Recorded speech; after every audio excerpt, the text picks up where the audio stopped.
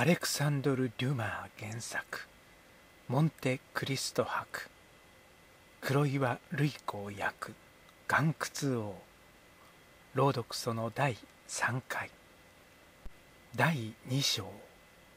おつゆは上夫ではありません。言い名付けです。皇帝のことを問うその様子。その言葉付きで見るとこの森江氏も確かにナポレオン島の一人である。蘭友太郎は答えた。私からは何も言いませんでしたが皇帝の方から巴丸のことを熱心にお聞きでした。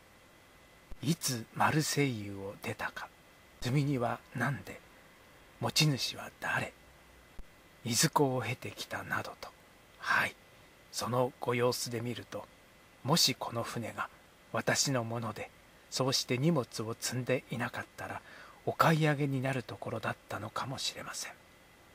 堀江さん皇帝はあなたの家筋をよくご存知でしたよ。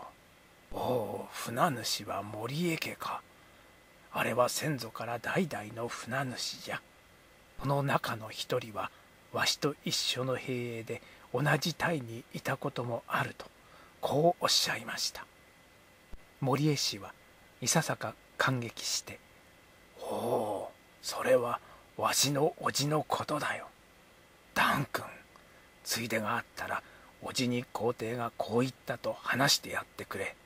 叔父はどれほど喜ぶか知れぬ。感激はしても用事は忘れぬ。さすがことに慣れた事務家である。こう言ってさらに用事に帰りとにかく船長の遺言をそのままに果たしたのはでかしたでかした。褒めてまたさらに気遣わしげにちょっと辺りを見回して声をも低めて「けれどダン君自節柄だから人にこのようなことを話してはいけないよ。エルバ島へ立ち寄ったの将軍に小包を渡して皇帝にもあったのともしその筋の耳に入ってはどのような目に遭うかもしれぬ。友太郎は物に屈託せぬ少年の常として平気である。エルバ島へは誰だって上陸するではありませんか。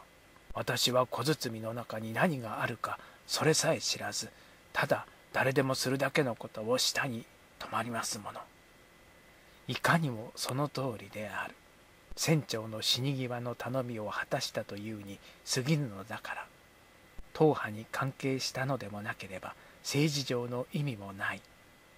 誰にも咎められるべきはずがないのだけれど森江氏のこの戒めは間もなく旗と思い当たる時があった。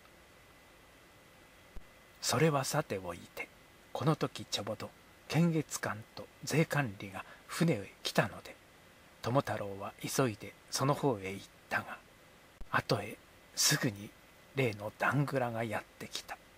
彼はどこかで森江氏と友太郎との問答の様を盗み見盗み聞いていたのだろう。例の通りの猫なで声で「ダン君は満足に弁解ができたと見えますね」森江氏「おお最も満足に」ダングラ「それは結構でした」実に同僚の者が間違ったことをするのは旗で見ていても心配に耐えませんから。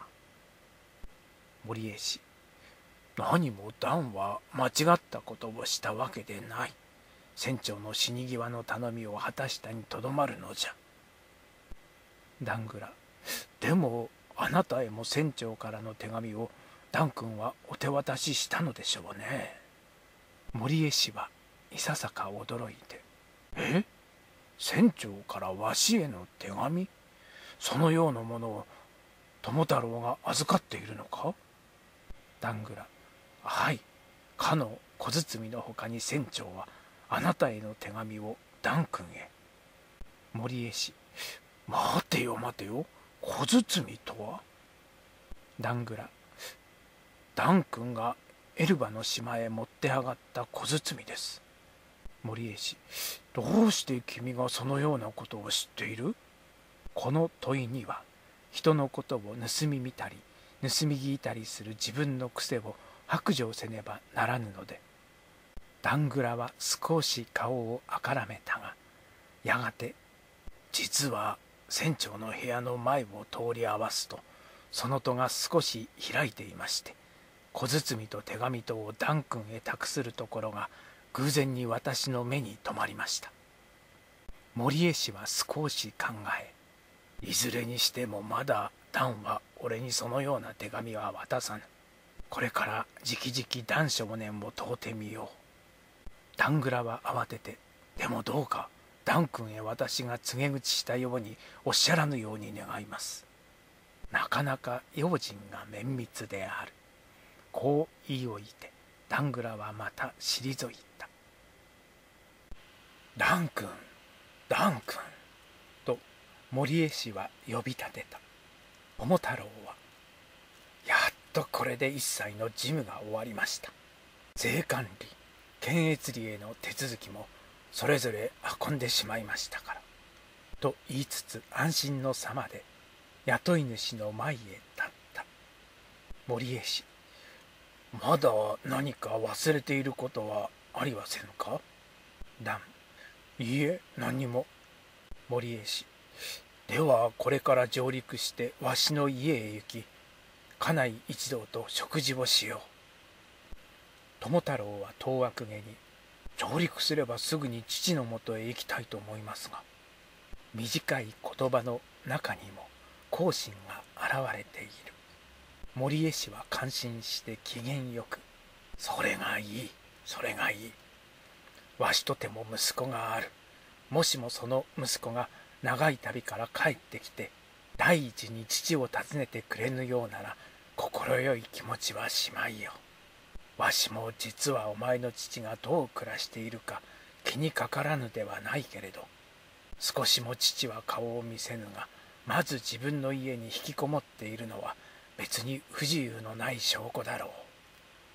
ダン、いいえ、父はあの通り、貸方にですから、よしや飢え死ぬほどの不自由があっても、外へ出て人に様を悟られることはいたしません。森江氏、なるほど、その通りの気質だから、なおさらお前は気にかかるだろう。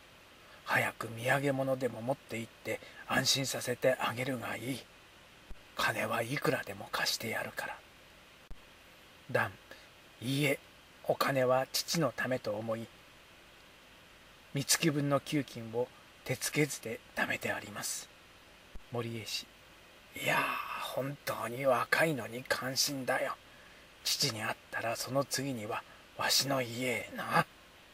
ダンはまたも当惑げにせっかくのお言葉ではありますがその次には森江氏はよほどこの少年を愛していると見え「おお分かった。皆まで言うな」スペイン村の別品に顔を見せねばならぬのだろう。前にもお留守の店へ三度ほど何か頼りはないかとて自分で聞きに来た。これもなかなか感心な娘だよ。お前の留守に心も変わらず器量といえばあの通り10人にも20人にも優れていて本にいい情婦を持ったな。お前は幸せだよ。商談にからかおうている。友太郎は顔を赤くし、おつゆは丈夫ではありません。いい名付けです。森江氏は打ち笑ってどちらでも大抵は同じことさ。ダン。いいえ私とおつゆとの間が違います。森江氏薬器と弁解するが花だ。ともかくも早く上陸して行くがよい。少年は嬉しさに気もせいてではこれでおいとまを森江氏はダングラの言葉を思い出した。だが何もわしに言い置くことはないか？ダン何にもありません。堀江氏。もしや船長からわしへの手紙でも預かりはせぬか？ダンいいえ何の手紙も。と言い切ったがさらにおおその言葉で思い出しました。私は数日のおいとまをいただかねばなりません。何やら手紙を預かっているらしい。ただし森江氏へ宛てたのではないのだろう。森江氏はああ数日のいとまを取って婚礼でもするのか？ダンはい婚礼もいたしますがその他にパリへまで上京せねばなりません。さてはその手紙をパリまで持って行って届けるのかしら森江氏はそれもよし。巴丸の次の出版までにはまだよほど間はあるがしかし3ヶ月のうちには帰ってくれねば船長を丘へ置いて船ばかり出すわけにはいかんからね。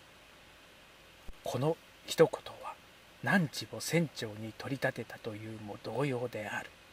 ダンはまたも顔を赤くして喜び私が船長ですか。どうか生涯に一度は船長になってみたいと。織江氏組合人へ相談の上で取り立ててやるわ。けれど今から聞いておきたいのはお前が船長になればやはりダングラを使っておくかどうだ。今度の航海中にダングラは何と思った？友太郎はありていにはい私とあまり仲が良くはありません。先日も少しの争いから私がでは万窟島へ上がって決闘しようと挑みました。これは私が悪かったのです。ダングラ君が応じてくれなかったのを今はありがたいと思っています。けれど船の荷物係としては少しも落ち度のない人です。森江氏落ち度がないから引き続き雇うておくというのか？ダンもちろんです。役目の上には毛嫌いということはありません。何でもあなたのいや雇い主の信任する人を私は敬っていくのです。公明正大とも言うべき返事である。森江氏は全く満足してでは早く父やおつゆを喜ばせてやれ。二十歳に足るか足らぬうちに船長という約束を得るとはよほどよくできた人でなくてはならぬ。実際類のないほどの出世である。友太郎は気色表に満ちて森江氏に別れ去った。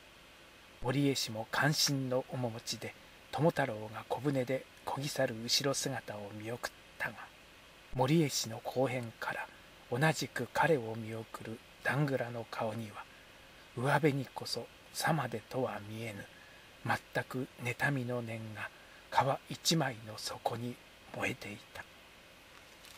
第三章父と子類は友。少年段友太郎が果たして前の船長から手紙を預かっているだろうか。